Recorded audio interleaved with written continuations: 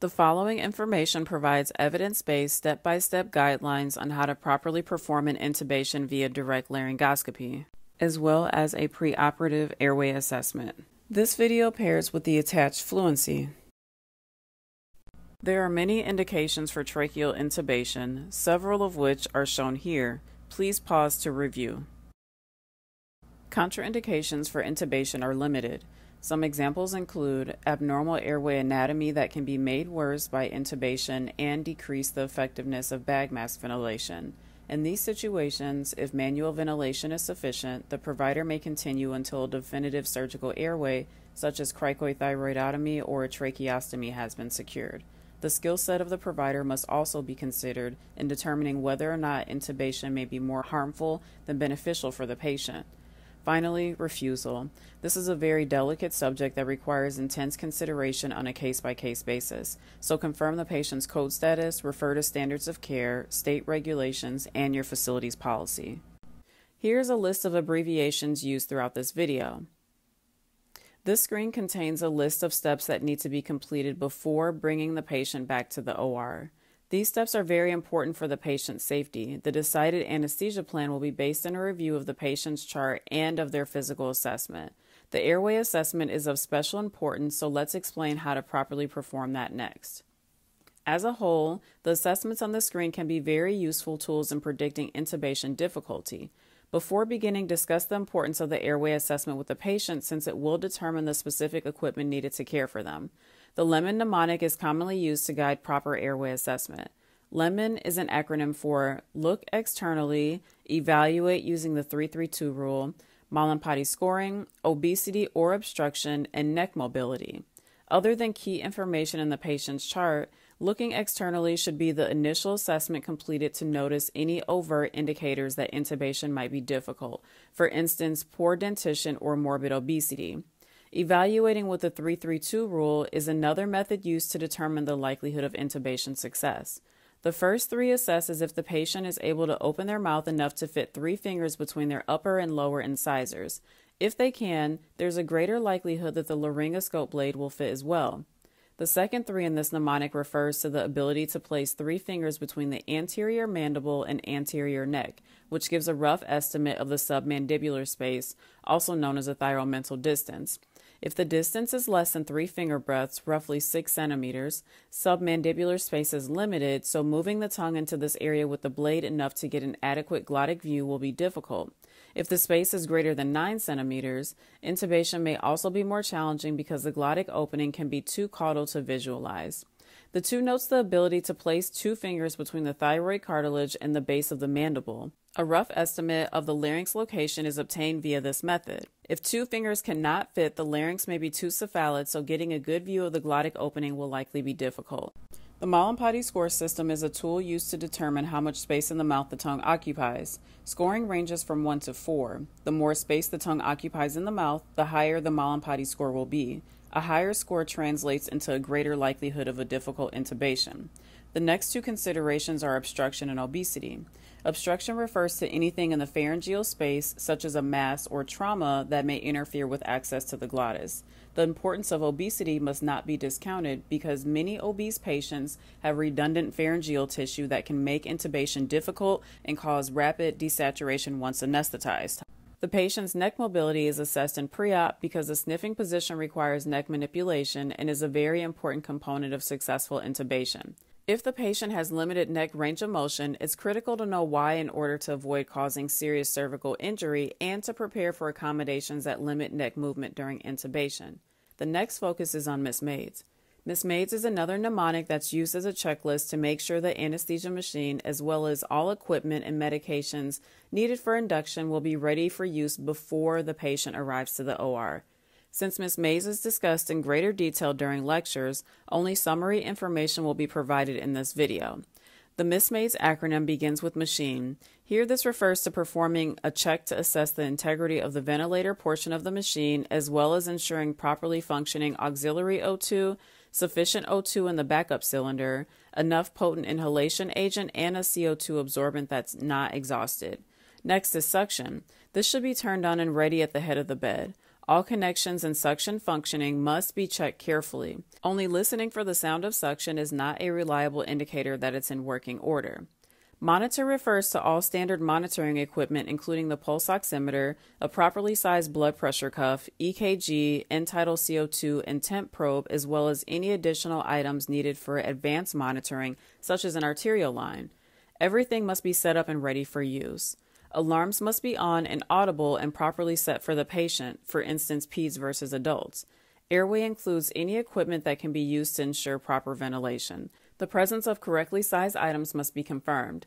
Examples of standard equipment include a face mask, oral or nasal airways, and endotracheal tubes. Size 7 to 7.5 internal diameter ETT is often chosen for women, and size 7.5 to 8 are often selected for men.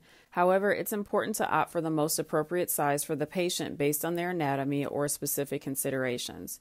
A stylet should be inserted into the ETT. A 10 ml syringe should be attached to the pilot balloon. It's also necessary to prepare the laryngoscope handle and blade as well as check light function. Mac or Miller blades are two popular options for blades, and the one chosen should be based on the patient's need and provider's level of comfort. Backup airway equipment such as an ambu bag, a properly sized supraglottic airway, video laryngoscope, bougie, Cric kit, etc. should also be present. IV serves as a reminder to check the patient for a functioning IV prior to induction.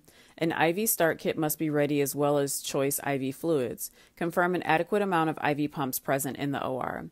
Drugs refer to induction agents, neuromuscular blockers if needed, and any supportive medications such as vasoactives, anticholinergics, predetermined antibiotics, analgesics, and other appropriate medications. Special is a catch all for any uncategorized necessities, including a warming blanket, oral gastric tube, BIS monitor, etc. Now, moving on to procedure. Be sure to maintain universal precautions. The provider should at minimum be wearing a surgical cap, a surgical mask, and gloves once hand hygiene has been performed.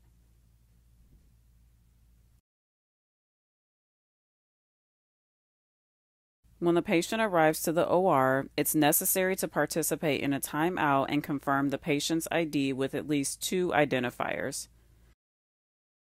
Appropriate monitors should be placed on the patient to obtain baseline vitals.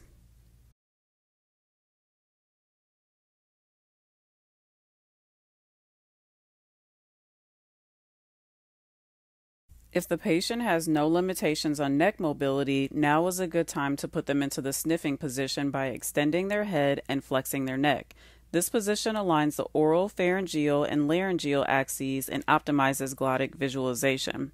Next, pre oxygenate the patient by turning the FiO2 to 100% at 10 or more liters per minute for several minutes until the ETO2 is 90%. At this point, perform a final pre induction assessment of both the patient and their vitals. If satisfied, induction medications can now be given.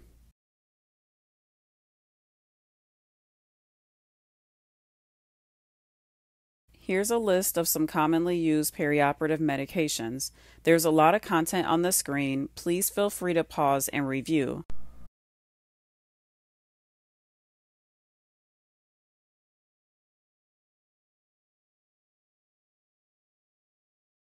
Anesthesia induction is first confirmed by apnea. Look for an absence of chest rise, mask condensation, and end tidal CO2. Then assess the eyelash reflex. If absent, tape the eyes closed to avoid a corneal abrasion. Now that the patient is apneic, mask ventilation is required. Before beginning, slightly close the APL but keep the setting less than 20 to avoid gastric insufflation. Confirm proper ventilation via bilateral chest rise and a consistent end tidal CO2 tracing. Once the ability to mask ventilate is confirmed, a baseline train of four must be checked. Then administer the appropriate neuromuscular blocker and continue mask ventilating. Required mask ventilation time varies based upon the drug onset. Jaw relaxation and a decreased amount of force needed to squeeze the reservoir bag will begin to be noticed. After sufficient time and jaw relaxation occurs, a second train of four must be done to confirm intubation readiness. With sufficient anesthetic depth and paralysis, scissor the patient's mouth and insert the blade at the right corner. Sweep the tongue to the left and into the submandibular space. Avoid tissue and teeth damage. If a MAC blade is used, the blade tip will be positioned in the vallecula to indirectly lift the epiglottis. A Miller blade will go beneath the epiglottis and directly lift it. Both blades displace the epiglottis. Once lifted, the glottic opening should be revealed. Look for additional anatomical landmarks and be sure to verbalize them to your preceptor. After atraumatic introduction of the endotracheal tube past the vocal cords, withdraw the stylet and advance the endotracheal tube to a proper depth. Here's a list of generic guidelines. The final decision should be based on what's best for the individual patient. Next, inflate the pilot balloon, then connect the endotracheal tube to the circuit. Once that's completed, proceed to confirm proper placement. Confirmation methods are listed here and must be verbalized. They include equal and bilateral chest movement, condensation inside the ETT, equal and bilateral breath sounds, and adequate and consistent end-tidal CO2 tracing that's present for greater than 3 to 5 breaths. If the intubation was not successful, recognizing the need to forego the attempt and resume mask ventilation is also a crucial step. After the endotracheal tube has been properly placed, turn on the selected potent inhalation agent, decrease fresh gas flows, choose a proper ventilation mode, and initiate mechanical ventilation. Secure the endotracheal tube at the appropriate depth with tape.